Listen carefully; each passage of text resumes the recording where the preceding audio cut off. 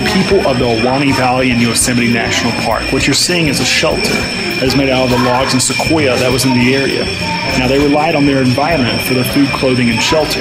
If we look over here, we can see an effect of westward expansion as you see a pioneer actually burning the shelter of the Native Americans. This is an, uh, this is a, uh, an opportunity to see some of the conflict that brewed between Native Americans and explorers.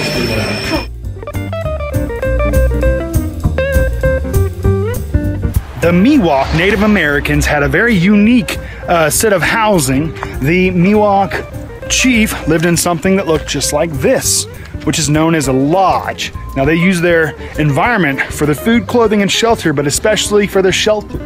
As you can see, they used the lumber that they had in great excess around them because they lived in heavily wooded forests. And so that was a natural resource that they used abundantly to provide some of the essentials that they need to keep their house waterproof, but to protect them from precipitation, from snow if that were to ever occur, and from the heat. It would keep it uh, cool and then keep it regulated throughout the year to keep them comfortable.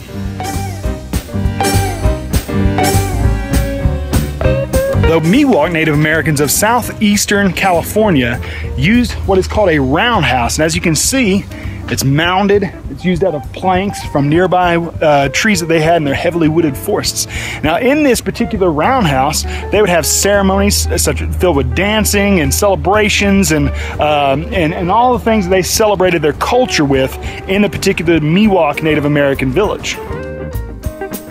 With the large amount of Americans that were migrating west, the Miwok Native Americans of southeastern California adapted and started developing cabins that that modeled themselves after American and European houses of that particular time in the 1850s. So they built cabins such as this with the same get-ups that were being seen in what was the 13 colonies into the early United States of America.